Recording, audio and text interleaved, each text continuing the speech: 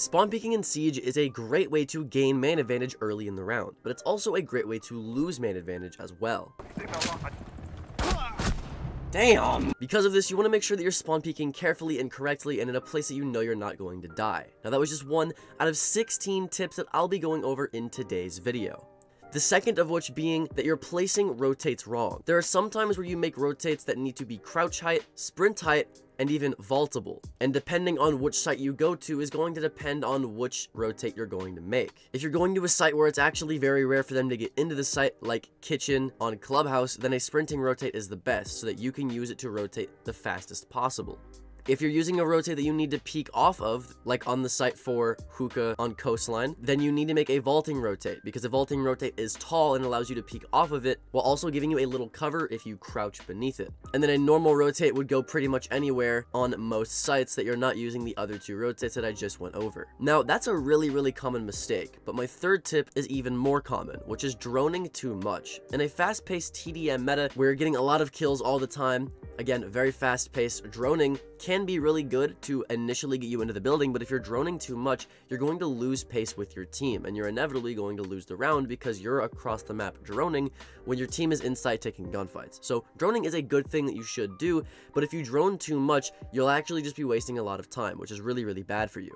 This droning trope is exactly why operators like Flores and Brava, who used to be very good operators, are now highly situational due to the fact that people aren't playing them often because their gadget is just too slow to use whenever their team is just rushing in and they're still on a drone and spawn. Now, I'm by zero means saying that these operators are bad. They're still good operators, but you just have to match the pace of your team. Which brings me into my fourth tip. You might be picking the wrong operator. If your team looks like they're doing a rush heavy comp, they're playing Ash, Finka, or any other operators that are fast paced in this TDM meta, then picking operators that are three armors that drone a lot, like I said earlier, or support operators when you know they're rushing the site isn't going to do anything. I'll give you another example. Let's say you're playing Ace or Thermite and you're trying to get a wall open, but your team brings no EMPs and they're rushing and they don't have a Thatcher.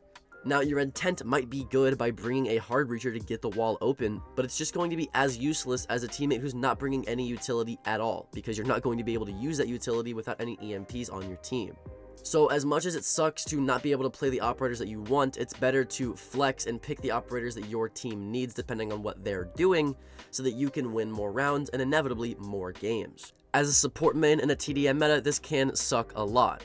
But if your team is helping you get the wall open, that will bring me into my fifth tip, which is getting a wall open before getting into a position. If you're an Osa main, you know exactly what I'm talking about here. Osa, for example, has EMPs and a shield. Now, as an Osa player, you don't want to put your shield down after the wall has been opened, because when you put your shield down, the sides of your body and your feet are exposed and you can die from that. But if you put your shield down and you and your teammates get into position to take gunfights before the wall opens, then when the wall opens, if any defenders are immediately peeking, you can easily kill them and not as easily get killed yourself.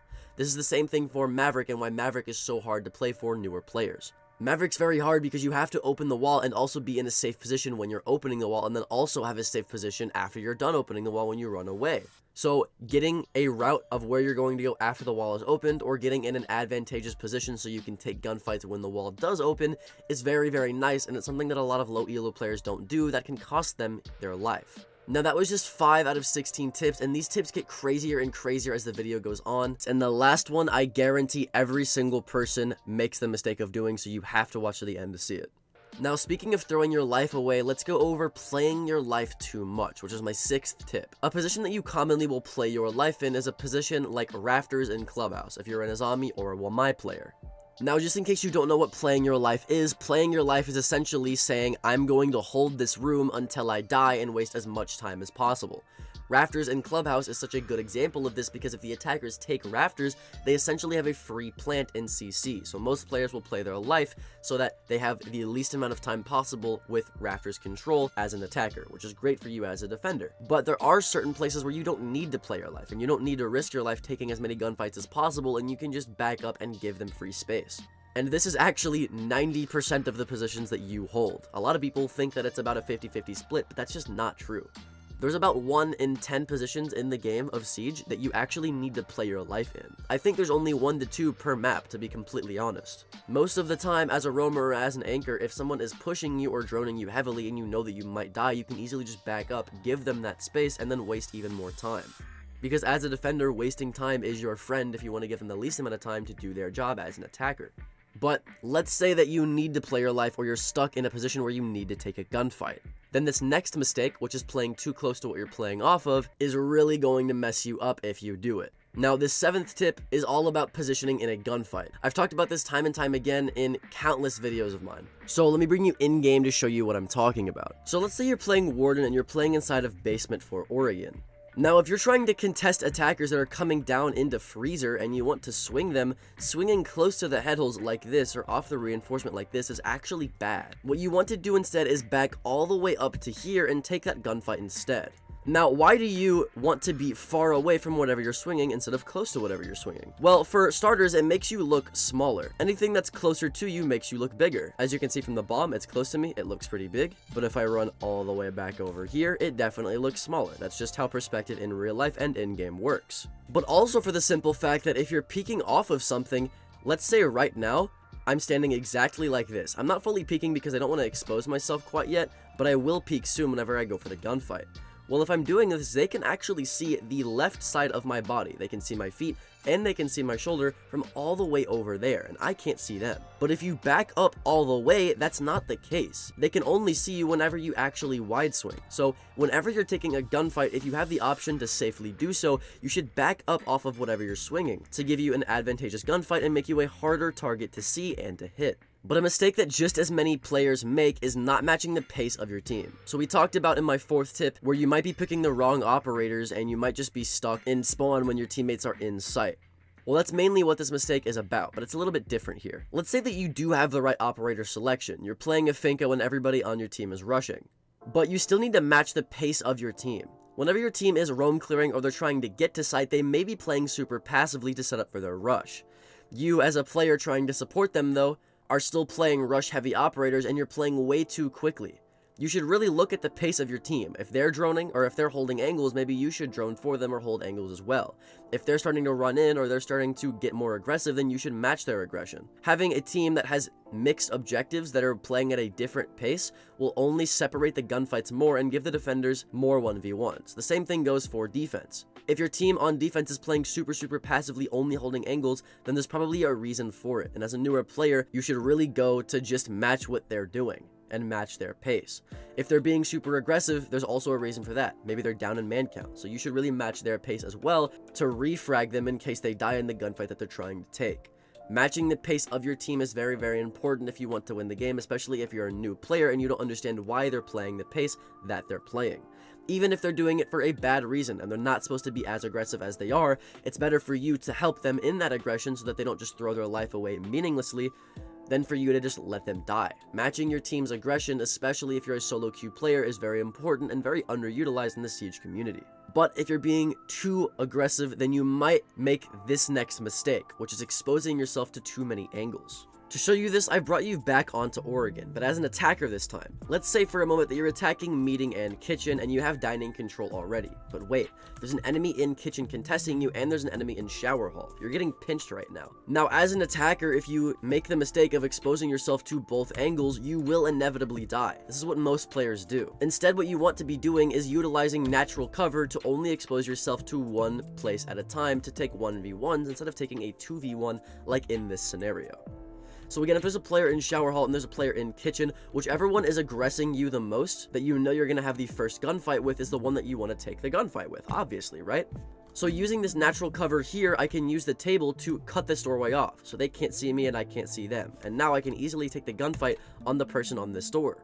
But if this person's being passive, or maybe they were faking their aggression and now they backed up, then I would move and I would use this table to cover that door now. And then I would take this gunfight over here, right? So you can use natural cover or utility for that matter like if you're playing Azami on defense or smoke on defense, to cut off lines of sight or cut off enemy rotations to give yourself easy 1v1s. This is very powerful and something that you should start doing, and not doing it is a mistake that a lot of people make that end up losing you gunfights and losing you games. Now, I just talked about smoke earlier, but we haven't actually talked about smoke grenades, because a lot of people use them wrong. What most people will do whenever they smoke off lines of sight to, let's say, you know, get the bomb down, they end up throwing smoke grenades incorrectly. Now, the common head hole setup here, where you have head holes right here, a reinforcement here, and the doorway here, is a great sight setup for defenders. As an attacker, you mainly want to smoke this off to make it to where they can't peek you. A lot of people will end up smoking like right about here. This smoke grenade, if it lands right here, when you're planting, will cover the head hole and it will cover the door, but it's way too close to you. So if you couldn't tell already, the mistake is putting smoke grenades way too close to you. Now, as a defender, this smoke grenade, if it was still there, lol, it went out, will easily allow you to get control and get space. Pretend the smoke grenade is still here, right? I can easily just take all of this space because the smoke grenade is protecting me from an attacker line of sight, right?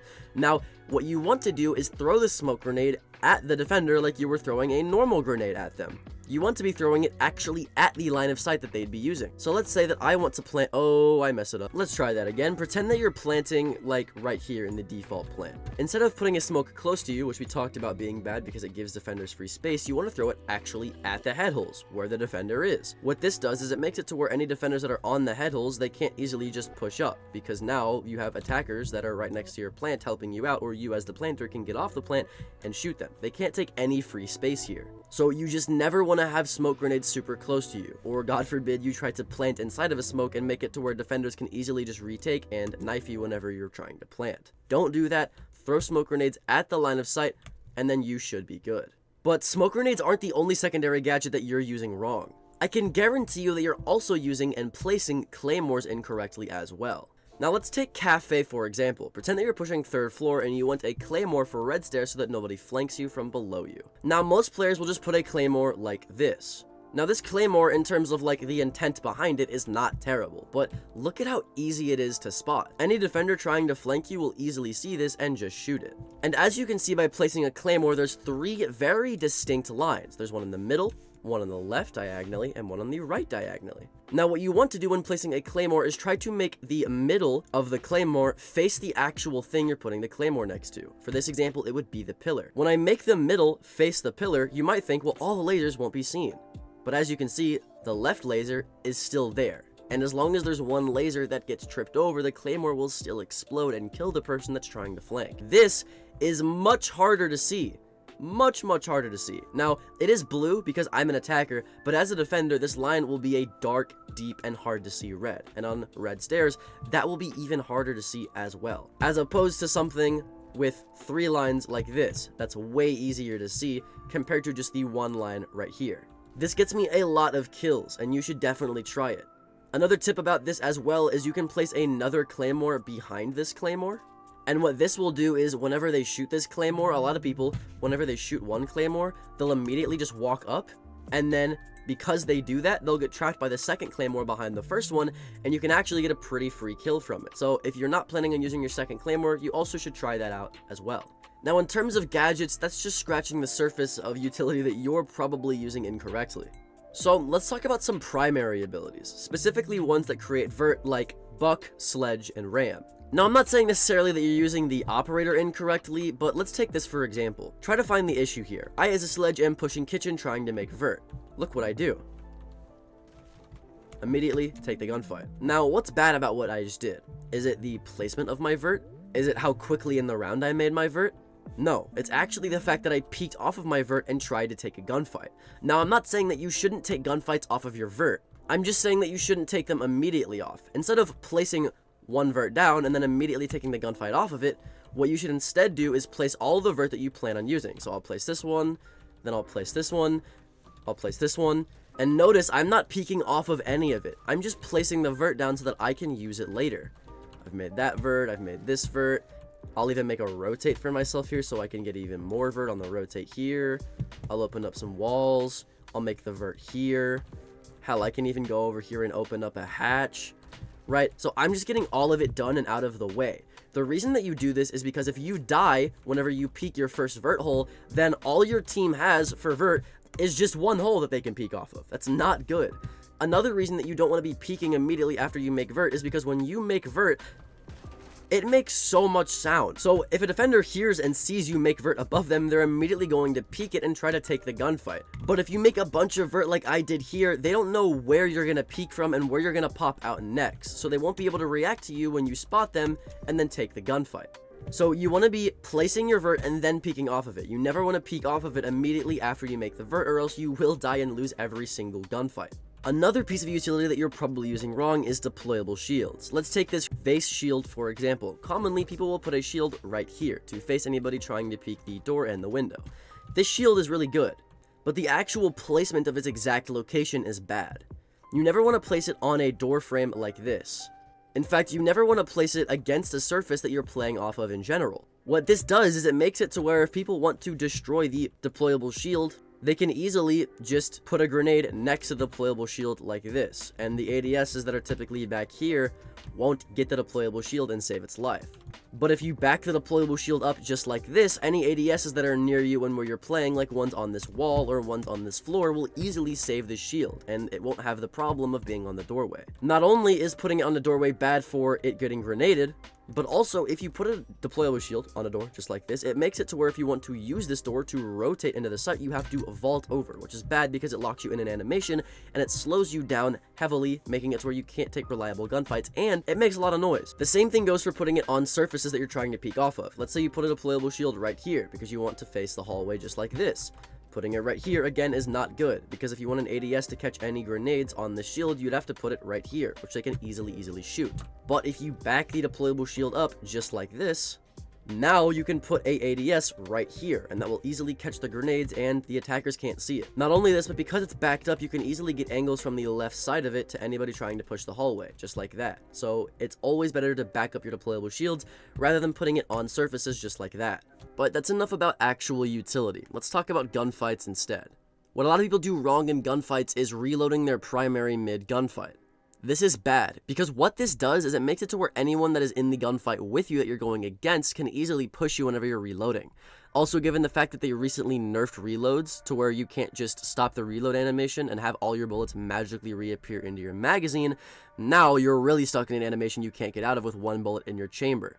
So instead what you want to do is you need to be using your secondary. A lot of people don't use their secondary guns a lot, especially if it's not the actual primary source of gunfights like it is with the SMG-11 shotgun combo on SAS Operator. If you're out of ammunition with your primary, it takes more time to reload with your primary than it does to just switch to your secondary to get your kill. This can save your life a lot of times, especially if you have a low ammo weapon like Iana's ARX with only 21 bullets. A secondary gun can easily mitigate the fact that your primary runs out of ammo and because it's so switched to quick to, you can easily get kills and this can easily save your life, especially compared to the fact that if you don't and you reload, you'll probably end up dying. Now, that's 14 out of 16 tips, so we're almost there, and the 16th tip, I guarantee you you do, so you need to stick to the end.